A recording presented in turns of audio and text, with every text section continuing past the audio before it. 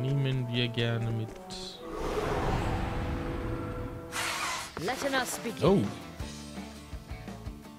Well then, Hochlandrad King 1. Du siehst interessant aus. Hast du eine Schwertschwäche? Nee. Okay. How about you? Ich hätte jetzt echt gedacht, dass der eine Schwertschwäche hat. Okay.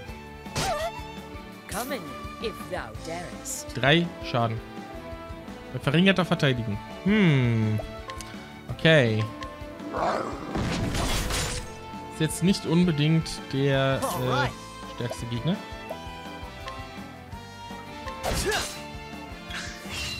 How about you? Okay. Hm. Ja. Ja, es ist äh, schon. Äh, das Viech hält was aus. Sagen wir es mal so.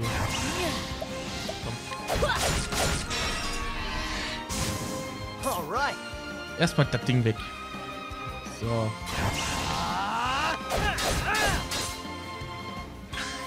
Keine Ahnung, warum ich das gerade gemacht habe. Weil es war absehbar, dass das nicht die Schwäche sein wird. Aber hey.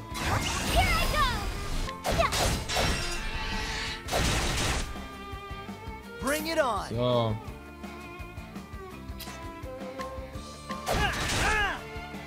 What okay, dann nicht. Bogen ist eine Schwäche, okay. Das ist gut zu wissen. Und ja, komm. Analysieren wir mal. Blitz, okay. Das heißt, hier können wir im Donnerkugel ein bisschen was äh, erreichen. Well Das then, ist gut zu wissen, ja, doch. The battle is truly joy.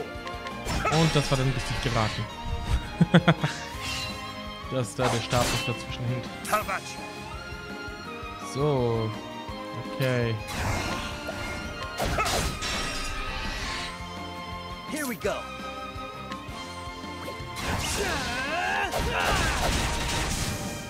I'll do my best.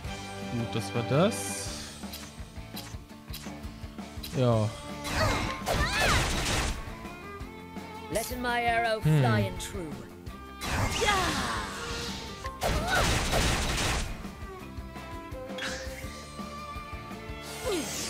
Here we go. Wow. Wow. Hier. Bisschen Blitzschaden. Warum?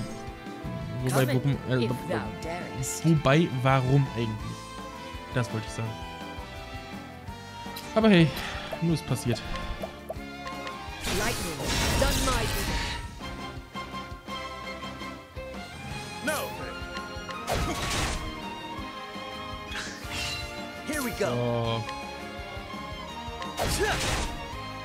neun. Wow. War mal richtig viel Schaden, truly Bin ja überrascht. Aber nicht positiv. No.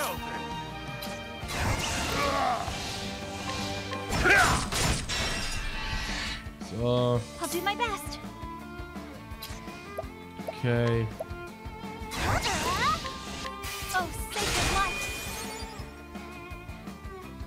Letting the hunt beginning.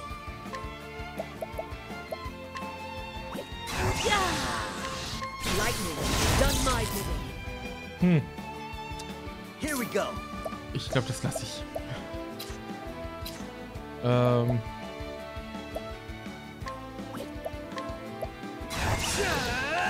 Cool off. jo, also, das Viech hält ordentlich was aus. Es nimmt nicht viel Schaden von, meinen, äh, von den meisten meiner Angriffe.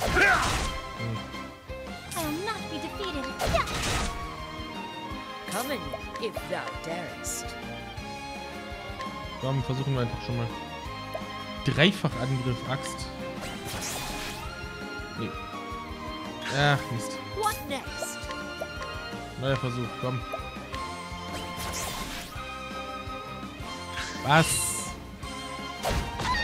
Das ist eine 62% Chance. Wie kann ich die zweimal vergeigen? Das ist statistisch gesehen... Ist egal. Egal. Komm. Hier nochmal ein Break. Immer noch. Hm.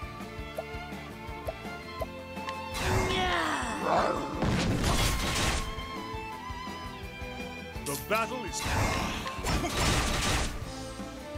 So. Here we go. What next? Jetzt aber. Dankeschön. Und wir schmeißen raus. Äh. Das Donnerirrlicht. Ja. Nutze ich eh nicht.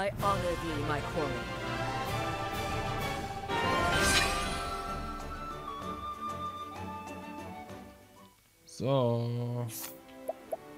Ich habe 3000 Punkte bei Ophelia gesehen. Eulensäure. So. Okay. Dann jetzt auf beiden Laufbahnen nur noch die, le- je, die jeweils letzte Fähigkeit. Mann, sollte reden lernen. Okay. Ähm.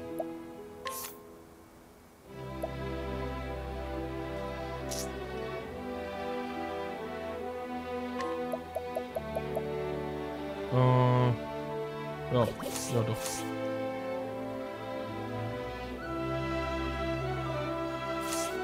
Stimmt, ich wollte mit äh, mit Therion Händler als Zweitlaufbahn.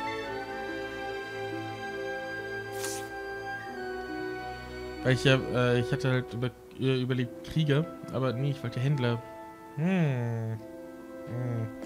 Naja, bei den Laufbahnen, da mache ich mir später nochmal ein paar mehr Gedanken.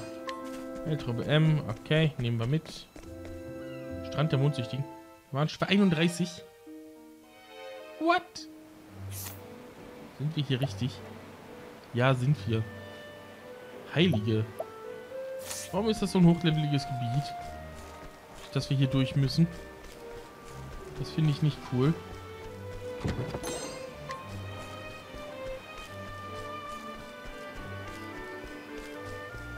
Das finde ich gerade echt nicht cool. Um ehrlich zu sein.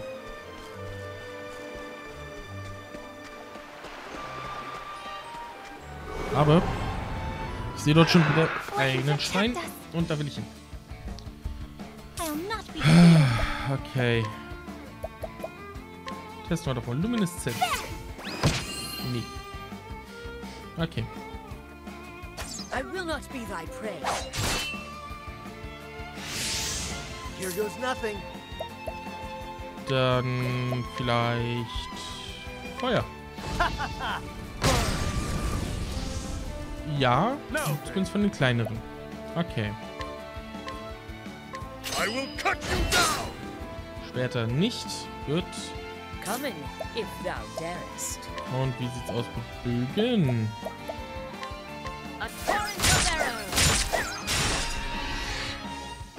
Der große. Okay. Der große hat eine. Bogenschwäche. Das finde ich schon mal schön. Seevogelkönig.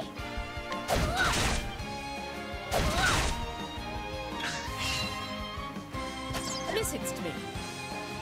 Thought you had me? How about you? So. Schauen wir doch mal. Speere. Jo, auch Schwäche. Sehr gut. All right. Sehr gut, sehr gut.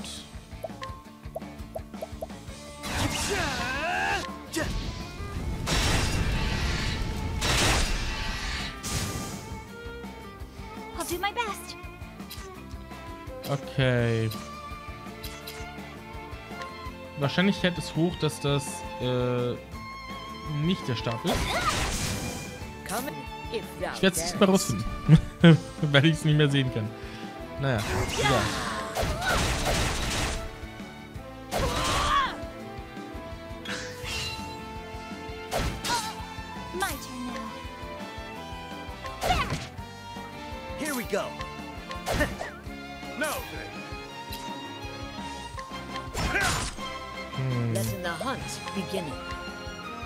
31. Oh, wow.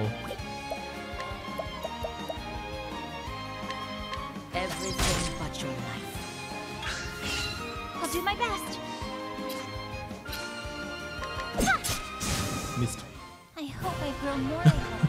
Shit. Naja, egal.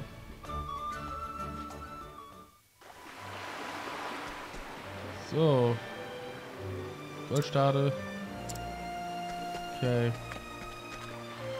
Da ist ein Questgeber, aber der ist mir jetzt gerade mal relativ wurscht.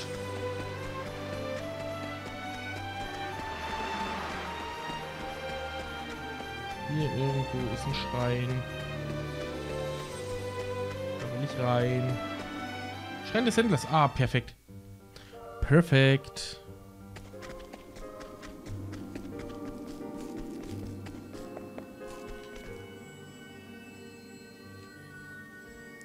Eine Stimme hallt in eurem Kopf wieder. Seid gegrüßt. Ich bin Bifelgan, der Händler. An euch wende ich mich und euch übermittle ich das Wissen des Himmels. Okay. Sehr schön. Damit kann Therion seine Händlerlaufbahn einschlagen. Yay. Das ist gut.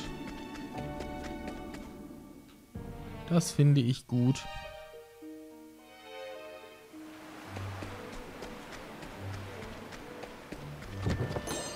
Hatte ich hier doch glatt eine Kiste stehen lassen. Weil ich mich mehr auf äh, den äh, Schrein konzentriert hatte. Naja. Noch irgendwas Interessantes? Nö, sieht nicht so aus. Okay. Westlicher Goldstade-Strand. Immer noch Gefahrenstufe 31. Warum? Ich dachte, das ist äh, 24. Naja. I'm me. Der geizige Adelsmisskerl Drevon hat die Hälfte meines Gewinns gekostet.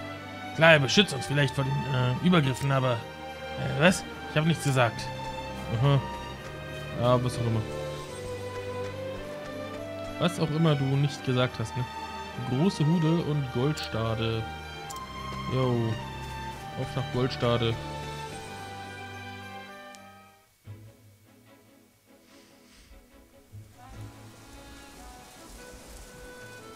Stimmt, hier hatte ich, äh, ich hatte hier etwas zu erledigen. Richtig, Alphins nächstes Kapitel. Deine Reisen führen dich nach Goldstade, wo ein Fieber ausgebrochen ist. Du machst dich an die Arbeit, als du von einem Gerücht hörst. Aha.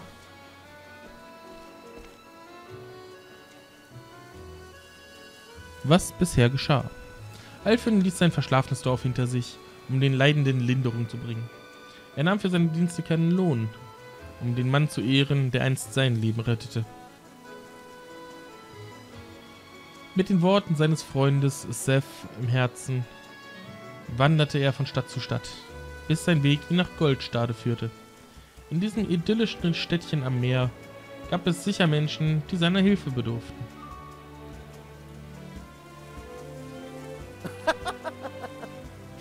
es geht doch nichts über eine kleine Stadt am Meer. Wir lagen vor Madagaskar und hatten die Pest an Bord. Und ja, die Melodie passte gar nicht. Ah, diese Meeresluft. Diese Meeresluft. Meeresluft. Meeresluft. Schwimmen gehen? Warum eigentlich nicht?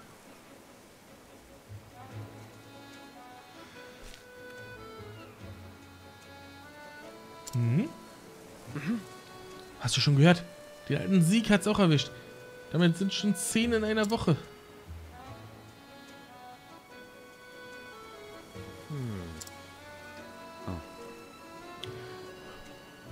Das Fieber greift schnell um sich. Was sollen wir nur tun? Da du es gerade sagst, ich habe gehört, dass jemand mit Apothekerwissen in die Stadt gekommen ist. Das spricht Oh. sich aber schnell rum. ja. Neuigkeiten verbreiten sich schnell. aye. Angeblich, äh, angeblich hat sie ein Tonikum angerührt, das einen Jungen über Nacht vom Fieber befreit hat. Oh, da waren I nicht wir gemeint. Sie? Also bin nicht ich, äh, also bin ich nicht der einzige Apotheker in der Stadt. Hm, interessant. Oh. Au, das tut weh. Oh, ist die Kleine niedlich. Howdy. Also in Ordnung, äh, junge Dame. Hier, du hast etwas verloren. Eine Muschel, hm? Da, danke. Shucks. Anscheinend hast du dir das Knie aufgeschürft. Darf ich mal einen Blick drauf werfen? Autsch, ich wette, das tut weh. Ich kenne das, weil ich immer über meine eigenen Beine stolpere. Aber jedes Mal, wenn man sich wieder aufrafft, fühlt man sich gleich viel stärker. Das sollte helfen. Das ist ein wenig, ähm, das ist ein wenig meiner besten Medizin. Thanks. Danke, Fremde. Ich bin Ellen. Hi. Und ich Alfin. Das reimt sich fast, hä? Naja. Toll, seid ihr ein Medizinmann? Etwas in der Art. Der Begriff Apotheker passt besser. Wow. Ui, ich habe noch nie einen getroffen. Freut mich, euch kennenzulernen, Herr Pockentäter. Now listen here. Aber Alfin reicht. Hey there. Hey, Alfin, tust du mir einen Gefallen? Oh? Na los. Es geht um meine Schwester. Sie hat Fieber bekommen und liegt schon die ganze Zeit im Bett. Immerzu weint sie. Und egal wie viel sie schläft, es wird immer schlimmer. Oh.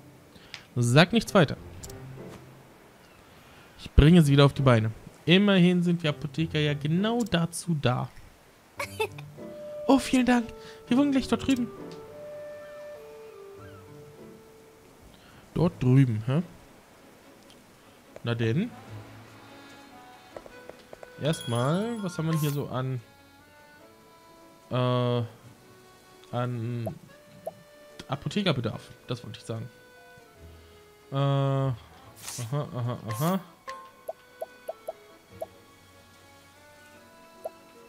Ja, ja. Mensch. Hm.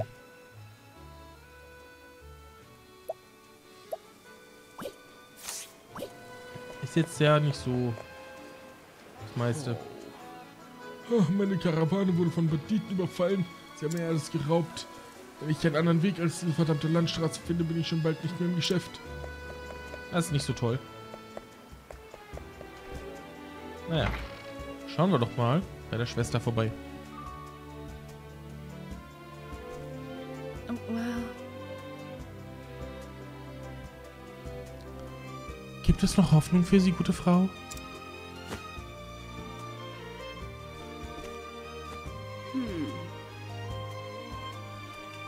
Es ist nur das Fieber, das gerade kursiert.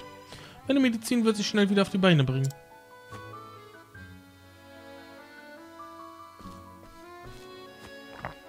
How are you?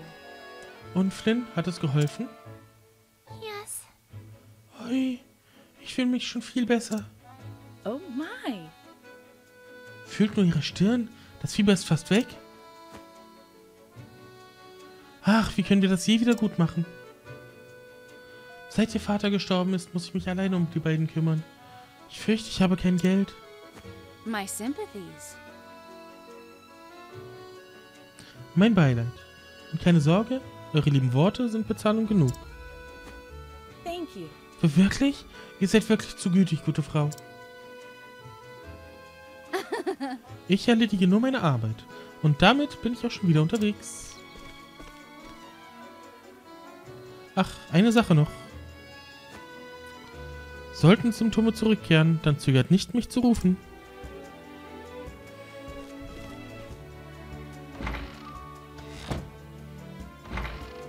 Ah, Und da bin ich. Wo ist meine Patientin? Wie ich hörte, leidet hier ein armes Mädchen an Fieber. Open. Sie ist gleich dort, Alfin. oh, Aha. Halt mal still, dann kann ich deine Stirn...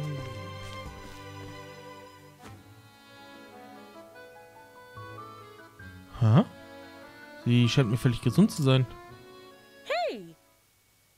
Alan, was hast du dir dabei gedacht? Du kannst doch nicht einfach so einen zerlumpten Fremden ins Haus mitbringen. Entschuldigung, gute Frau, aber ich bin Apotheker, wisst ihr? Really? Ach, seid ihr das? Das Mädchen ist bereits von einer echten Apothekerin behandelt worden. Ich fürchte, als wir brauchen eure Dienste nicht. Guten Tag, mein Herr.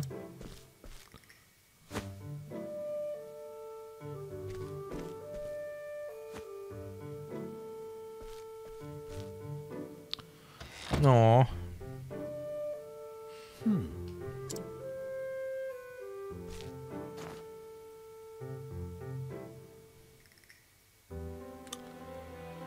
Sie lässt ja fast so klingen, als ob hier eine Art Quacksalber wäre. I'm sorry. Es, es tut mir leid. Ich wusste nicht, dass es noch eine Pockentäterin in der Stadt gibt. Ach, mach dir deswegen keine Sorgen. Deiner Schwester geht es besser und das ist doch, äh, was zählt, oder? Thanks. Ja, trotzdem vielen Dank, Elfin. see ya. Tja, dann pass gut auf dich auf und hol dir keine Erkältung. Du aber auch.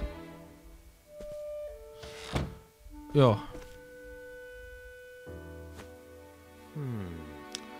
Das muss die Apothekerin gewesen sein, von der alle hier sprechen. Die Stirn des Mädchens war nicht einmal warm. Wie auch immer meine geheimnisvolle Rivalin ist, sie versteht ihr Handwerk. Was würde ich nicht dafür geben, an ihrem Wissen teilhaben zu können? Das kann ich irgendwo nachvollziehen. Fände ich persönlich auch sehr interessant. Hoho! Ihr habt ein bewundernswertes Talent, Heilsalben herzustellen. naja, ihr könnt stolz auf eure Schwertkunst sein. Und ich habe eben meine Medizin.